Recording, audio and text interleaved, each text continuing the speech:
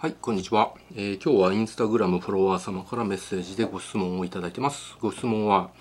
私は名前と顔を出して YouTube、Twitter、インスタ、TikTok などをやっているものです。かっこ YouTube のチャンネル登録者は10万人以上います。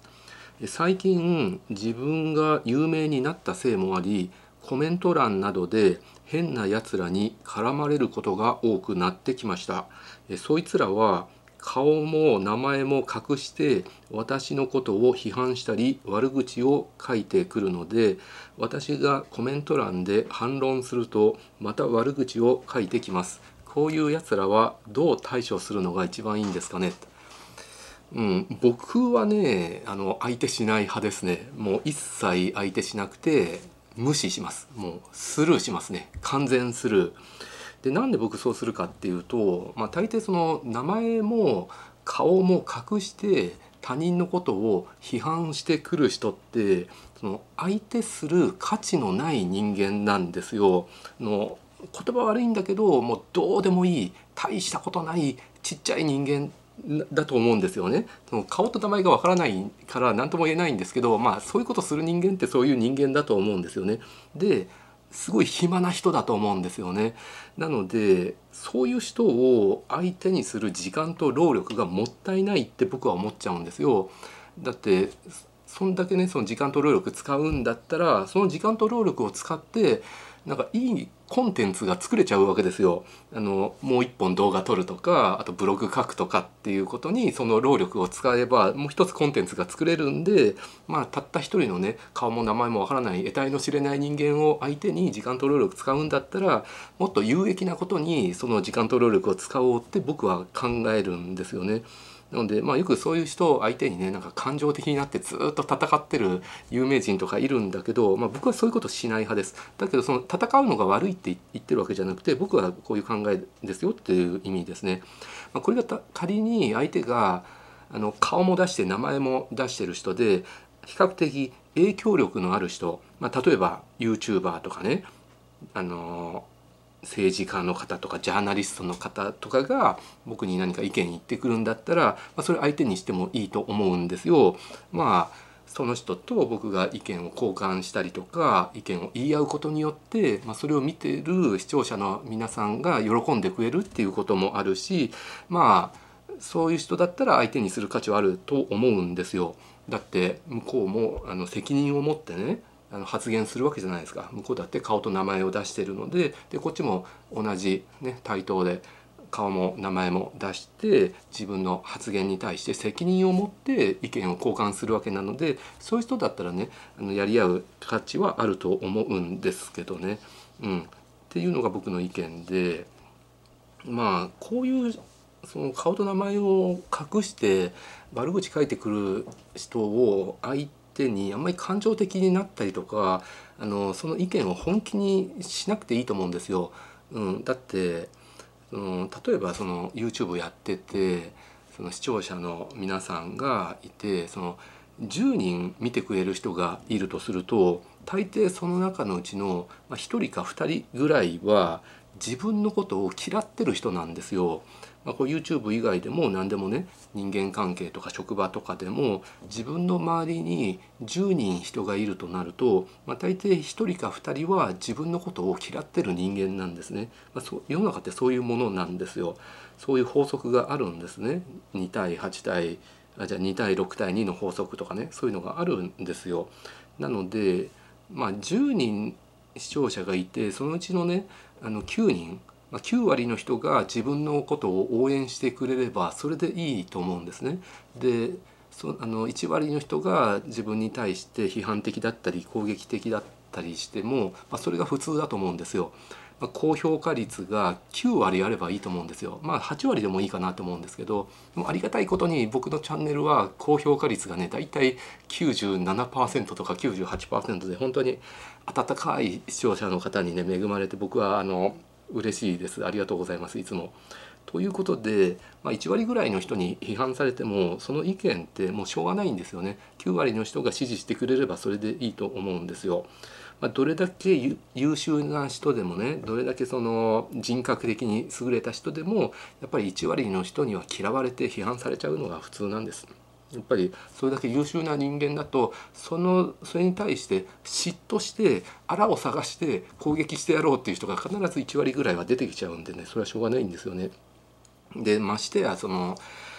例えば世の中のね意見を二分するような問題を発言することだってあるわけじゃないですか僕だって。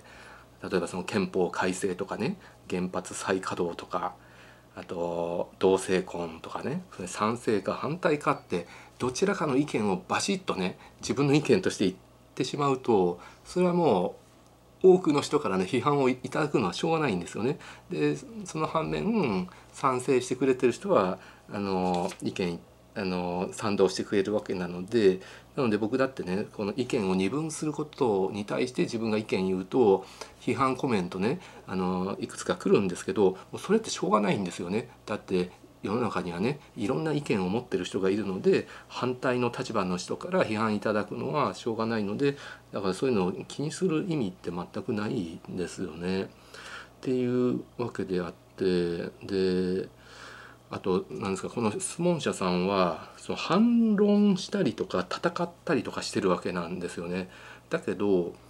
こっちは顔と名前出して向こうは顔と名前隠してるわけなのでそういう人と同じ土俵で戦うと顔と名前を出してる人の方が圧倒的に不利になるんですよだから僕あのそういうのと戦いたくないっていうのがあって顔と名前を出してる人だったら戦ってもいいよって僕は思うんですね。っていうのはこっちは顔と名前を出してるので僕の発言に対しては僕が責任を持たないといけないんですよ。顔と名前出してる人はね自分の発言にね責任持たないといけないんです。で仮に何か間違ったことを話したりとか、まあ、道徳的に問題のある発言とか失言とかするとそれをものすごくねそこだけクローズアップされて切り取られて批判されちゃうんです。あの批判の的にされちゃうので、まあ、慎重に発言しないといけないんですけれどでも顔と名前を隠して発言する人ってどれだけ間違ったことを話してもどれだけその出現したりとか道徳的におかしなあの言葉汚い言葉とか使ってもその発言に対して責任持たなくていいんですよ。だって顔と名前を出してないのでその人を責めようがないじゃないですか。まあ、その人のあの Twitter とかね責めてもあのだどこの誰か分かんないのでもう最悪そのアカウント消しちゃうとかコメント消しちゃうとかでもうそれ済んじゃう話なんだけど顔と名前出してる以上はあの出現しちゃってねそれをツイートを削除してもあのスクショされてねそれであの何ですかネタにされてねなんか作られたりとかすることだってあるわけじゃないですか。なので圧倒的不利なので だから戦う意味ないと思うんですそういう人たちと。うん、で逆に顔と名前隠して戦あのなんですか悪口書いてくる人ってその顔と名前出してる人の失言とか間違った発言を引き出そうとして引き出すことができたら来たって思ってそれを一気に切り取ってこの人はこんな発言してますこんなおかしな人ですってやって炎上させてもっとダメージを負わせてやろうというとこまで考えてるのでその策略にはまっちゃいけないと思うんですよね。まあ、例えばあの僕がもしねそのなんですか顔と名前隠してコメントして悪口書いてくる人に対してあの感情的になっちゃったねクソって思ってね「うるせえお前黙れ」って「どこの誰だよお前」って顔と名前出してからあの発言しろよこらなんてねあのツイートしちゃったらもう向こうの思うつぼでもうその発言を切り取ってねツイートされたりとかしてこの人はお医者様ともあろう方がこんな汚い発言をしています。お医者様ともあろうお方がこんなのいかがなものでしょうかとか、ね、こんな医者には絶対かかりたくないですよねってね絶対そう来るに決まってるんであの相手にしないのが一番いいと思いますね。はい、あと僕最近思うのはやっぱ有名人の方、まあ、芸能人の方とか YouTuber の方とかが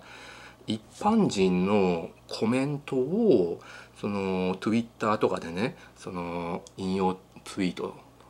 リツイートっていうんですかそういうので晒す人とかいますよねなんかなんですか一般人の方にねこんなこと書かれましたって私のことをこんなひどく言われましたって言ってその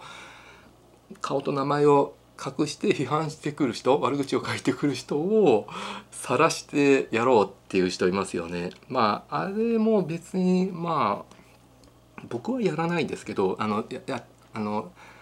やること自体あの、まあ、賛否両論あるんですけど、まあ、それも僕はやらないんですけれどそれもその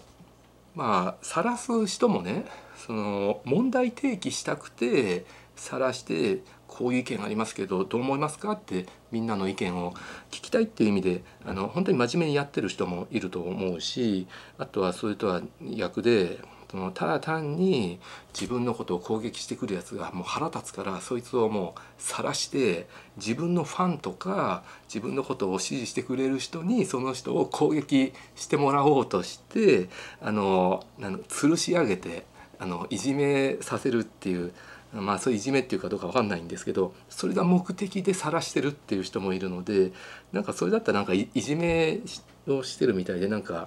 かあのかわいそうかなって思っちゃうんですね。まあ確かにもう顔と名前隠して人を批判するから自業自得っていう点もあるかもわかんないんだけれど、まあ、僕はそう晒し晒すっていうのはやらない派ですね。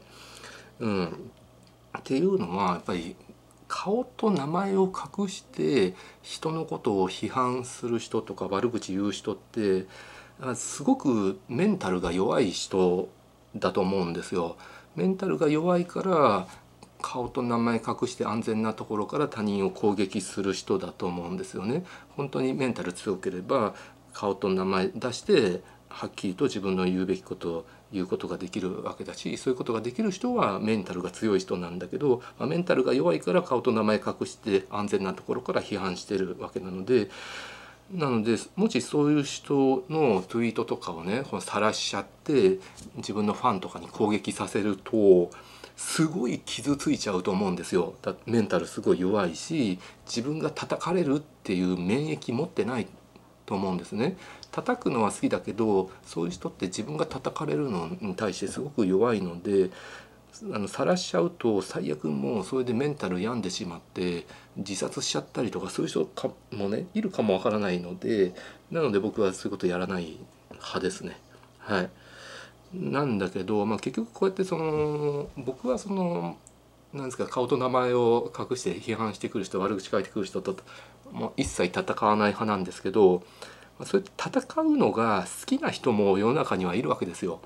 あのネタでそういうね戦うのが好きな人とかねそれをネタにする人とかあとそういうキャラで売ってる人とかもいるんで、まあ、それはそれでありかもわかんないんだけど、まあ、例えばその堀江さんとかさあの野菜食えとかコメント来るとマジでブチ切れて戦うじゃないですか「おい俺は野菜食ってんだよ」とか「野菜食え」とかいちいち言ってくんだよとかバーとかさなんかすごいだだからお前らダメなんだよってそんなことを書いてるからお前らダメなんだよとかってその一般人の批判コメントに対して戦うのがキャラとかそういうネタとかネタでやってるとかねそういう人たちはまあそれはそれでありなのかありだと思います。はいありだと思いますけど、まあ、僕はやらない派ですよっていう感じなのでこの質問者さんも僕の意見参考にしてくれればいいと思います。はい以上です。